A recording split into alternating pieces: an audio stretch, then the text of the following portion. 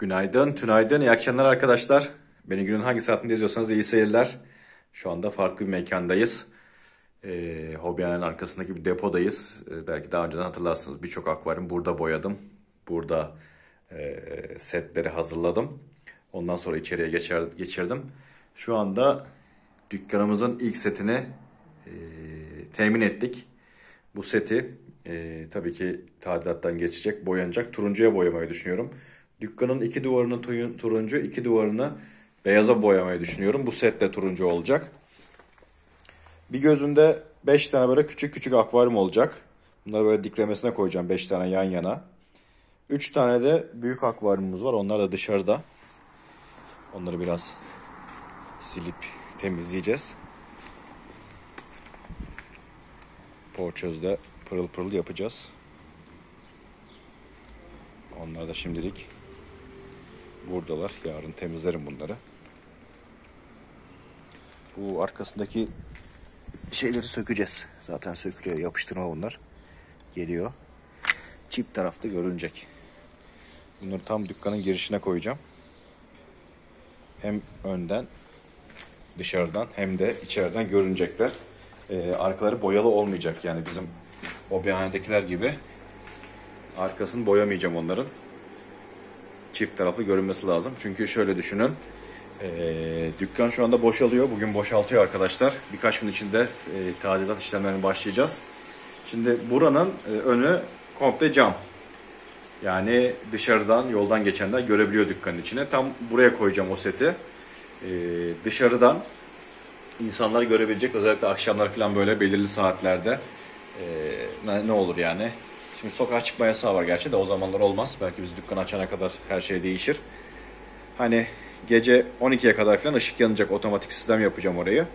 Böyle güzel bir armatürle bitkili akvaryumlar falan e, şık olacak. Gece dışarıdan geçenler görecek. E, aynı şekilde ben bu taraftan da e, balıkları görebileceğim içeriden dükkanın içinden. Öyle bir planım var. E, ilk kez arkası boyalı olmayan bir akvaryum kullanacağım. Hatta e, boyalı diye ben o siyahı boyalı sanıyordum. E, çıkarması zor olacak diye düşünmüştüm ama yapıştırmaymış. Hiç sıkıntı yok. Şöyle denedim. Zaten şuradan çıkıyor. Asıldı mı gelecek bu. Ama sanırım bunu Yo çok kolay gelecek. Vallahi hop şu anda birlikte bile çıkarabiliriz. Evet. Bunu böyle yapıştırma yaparak bana çok büyük bir iyilik yapmış oldular. Çift taraflı görünmesini istediğim için bunu iptal ediyoruz. Hatta şu maviyi de iptal edebiliriz. Bu da hemen gelecek gibi duruyordu çünkü. Süper. Bu çok iyi oldu. Boyalı olsa bu kadar kolay çıkmazlar da. Bu birazcık yapışkanı iyiymiş. Zor çıkıyor. Siyah daha kolay çıkmıştı da. Oh. Evet. Şuradan tutsak. Neyse siz de zaman kaybetmeyelim burada. Ben bunu videodan sonra sökerim. Şurada dursun. Şimdi girelim. İçeride ben size maliyetleri anlatmaya başlayayım. İlk masrafımızı yaptık dükkanın bu seti alaraktan. Bu seti 1550 TL'ye aldım. Demiri ve akvaryumuyla birlikte.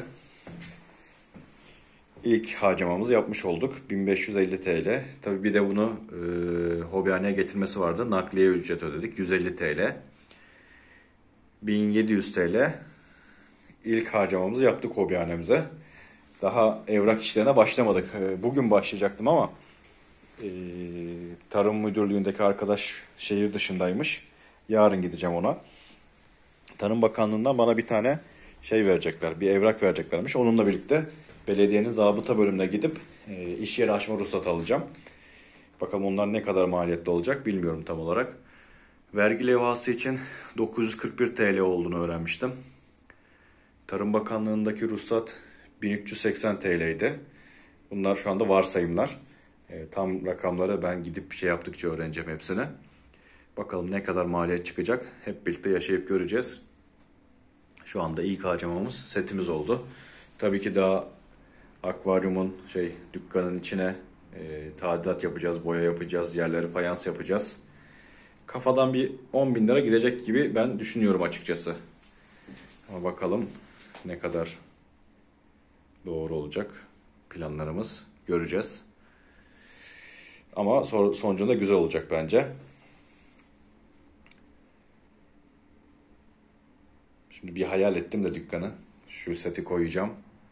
Böyle önden görünecek. Dışarıda insanlar. Çok güzel akvaryumlar yapmayı planlıyorum. E, tabii destek alacağım. Kendime e, bitkili akvaryum konusunda çok fazla bilgim yok. Bunları da karides yapmayı düşünüyorum. Tam böyle küçük karideslik akvaryumlar. E, bunların ölçüleri ne? 40 santim olduğunu ölçmüştüm.